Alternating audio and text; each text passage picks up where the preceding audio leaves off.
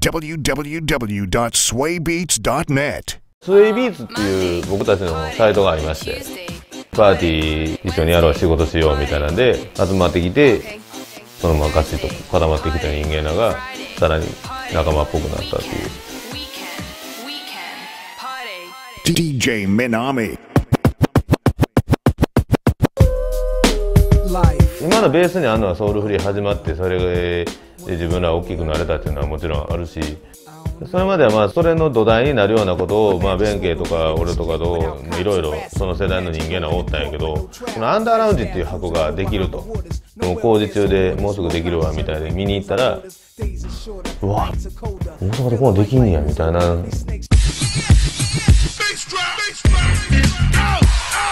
プレミアとかピートロックとかの時代が終わるティンバーランドネプチューンズラフライダーとかそういう時代が始まるっていう。でみんなその賛否両論がすごいあって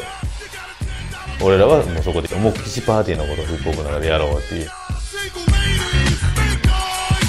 大阪人でなんかレコード時代とか特にそうやって一回受け入れてくれたら結構いつまでも見守ってくれる感はある。膨膨らむのはでかいんちゃうかなって。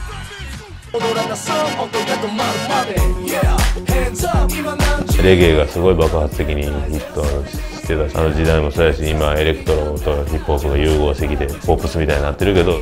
それも全部含めて寄りすぎずベタすぎずかつパーティー常に思ってることですよ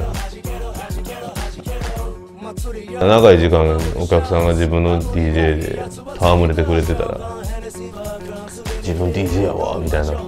がしますね DJ シティ